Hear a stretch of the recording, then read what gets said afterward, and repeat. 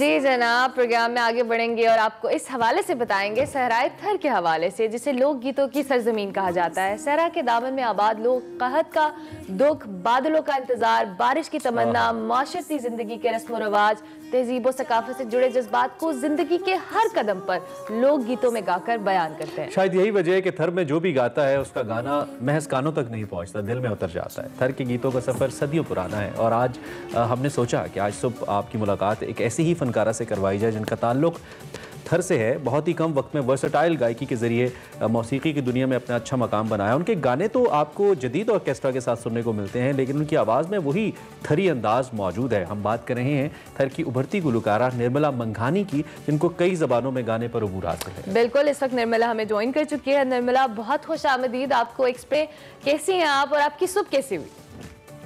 मैं बिल्कुल ठीक हूँ आप कैसे हैं? बिल्कुल ठीक ठाक निर्मला बहुत बहुत शुक्रिया कि आप एक्सप्रेसो का ऐसा बनी। सबसे पहले तो अपने सिंगिंग के हवाले से बताएँ शौक कैसे हुआ? आप बतौर वॉइस ओवर आर्टिस्ट भी काम करिए और किस तरह से आपका जो सिंगिंग करियर है आपकी आवाज़ का आपको अंदाज़ा था कि इतनी खूबसूरत आवाज़ है? बस मैं स्कूल में परफॉर्म करती थी। गाने का शौक तो मुझे बचपन से था। और फिर मेरी आवाज़ भैया ने सुनी। और भैया ने बहुत किया अभी भी बहुत सपोर्ट करते हैं मुझे। तो पिछले चार चार साल से मैं प्रोफेशनली गा रही हूँ। हम्म, हम्म, हम्म। बिल्कुल सही चार साल से आप गा रही हैं। तो आपने गाने के लिए के कौमी जबान भी कौमी जबान में भी आप गा रही हैं यानी कि उर्दू में भी गा रही हैं या फिर दीगर जो हाँ। इलाकाई जबानें ज़्यादा उनमें गा रही हैं आप?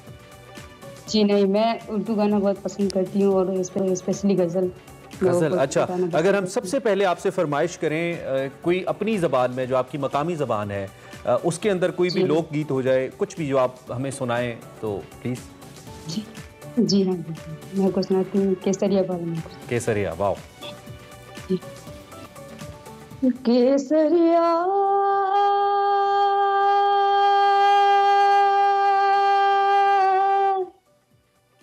बा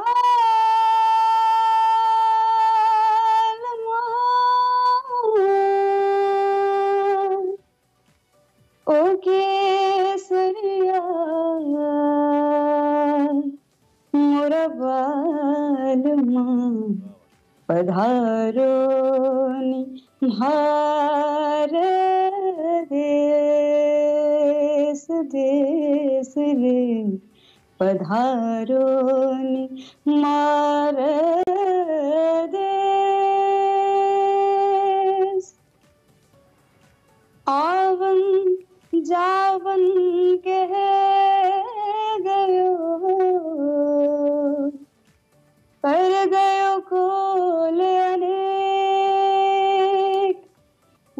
गिणते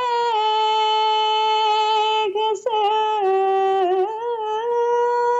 गई। मारी आंगड़िया रेख रे। मारी आंगड़िया रेख रे।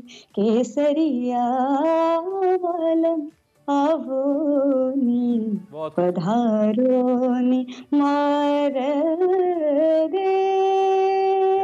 ऐसा ऐसा लगता है टीना सानी को आपने सुना है? टीना हाँ, सानी वक्त में जब खासतौर पे उनके अर्ली एज का जो गाना है उतनी ही सुरीली और मीठी और रचाव वाली आवाज़ बहुत खूबसूरत है भला बहुत मज़ा आया।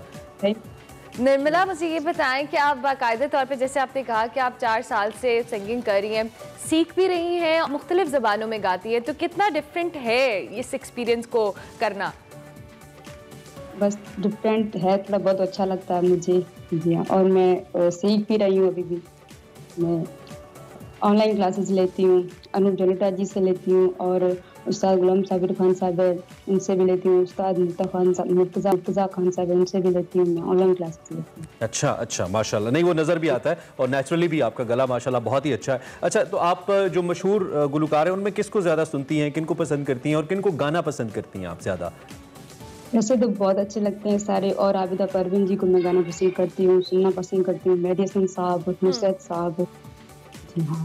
ठीक है तो कोई मशहूर गज़ल कोई गीत हो जाए आपकी मौजूदगी से आबिदा जी एनीथिंग जो आपको पसंद हो। जी हाँ जी हाँ। मैं उनकी गज़ल सुनाती हूँ आपको आबिदा हम्म, हम्म, ज़रूर। जी हाँ।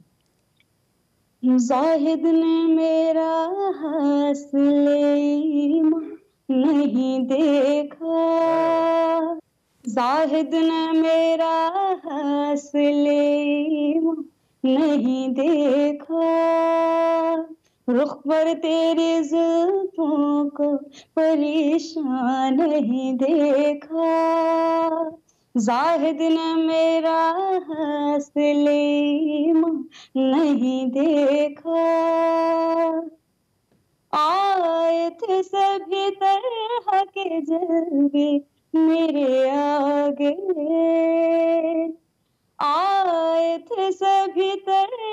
के जल्दी मेरे आगे।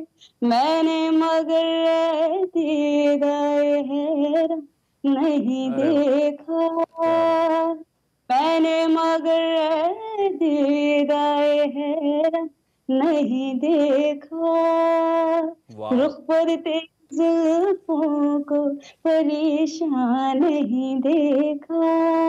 कितना कितने मज़े से गाती हैं कितना हाँ। चंचल सा अंदाज है ये जो प्लेबैक सिंगर्स के अंदर भी और गज़ल सिंगर्स के अंदर भी गाती है मतलब वो किसी मुश्किल का शिकार नहीं होती गाते बट स्टिल निर्मला अब चूँकि आप आपका ताल्लुक थर से भी है लॉक मौसीकी जो है बेसिकली जो हम फोक कहते हैं अब कितना डिफरेंट है क्योंकि ऑब्वियसली जब भी हम थर के मसाइल के हवाले से बात करें हमने अपने इंटरव्यू में भी यही कहा कि अपने हम्म। हर तरह के जज्बात को आप अपनी मौसीकी के ज़रिए एक्सप्रेस करते हैं सो ये वाली फैक्टर किस तरह से आप लोग ऐड करते हैं बस ये शौक होता है उसी वजह से अच्छा लगता है बहुत। और फॉक भी बहुत अच्छा लगता है। निर्मला जो लोग इस किस्म के इलाकों से आते हैं आप जैसे मैं खुद भी जानता हूँ कि थर के अंदर और दीगर इवन बलूचिस्तान के दूर दराज इलाकों में चित्राल के इलाकों में बहुत ज़बरदस्त गाने वाले बड़े ज़बरदस्त फनकार मौजूद हैं उनको मौाक़े नहीं मिलते। कौन से चैलेंजेस चैलेंजेस हैं जो आपने फेस किए हैं अब तक मेन स्ट्रीम पे आने के लिए? और जो लोग आपको देख रहे हैं दूर दराज इलाकों में उनको आप क्या तजवीज़ करोगी कि वो कैसे आगे आए हैं?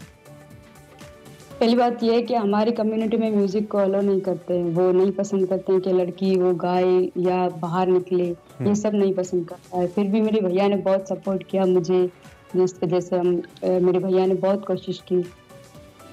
ठीक है ठीक है। और जो लोग नहीं अब इस चीज़ को इस तरीके से सामने लेके आ सकते अपने टैलेंट को आपकी तरह थर वगैरह में रहते हैं दूर दराज इलाकों में उनको आप क्या कहना चाहेंगी? क्या पैगाम उनके लिए है आपका? जी हाँ मैं यही कहना चाहती हूँ, अगर टैलेंट है तो वो ज़ाया ना करे।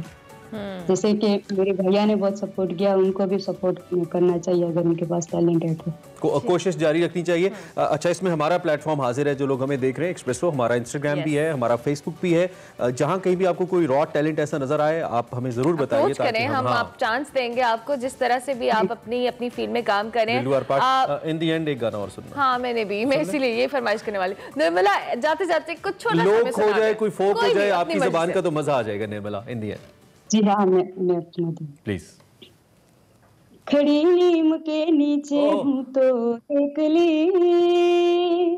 खड़ी नीम के नीचे हूँ तो हेकली ज़्यादा रे बटाड़ो, मना छनी मनी देख ले। खड़ी नीम के नीचे हूँ तो हेकली खड़ी नीम के नीचे हूँ तो हेकली ज़्यादा रे बटाड़ो, मना छनी मनी देख ले। खड़ी नीम के नीचे। झिरमिर झिरमिर में बलावर से पवन हिलोला खावे। झिरमिर झिरमिर में बलावर से पवन हिलोला खावे। सास जी थारो चेल भोरियो मासा डरियो जावे।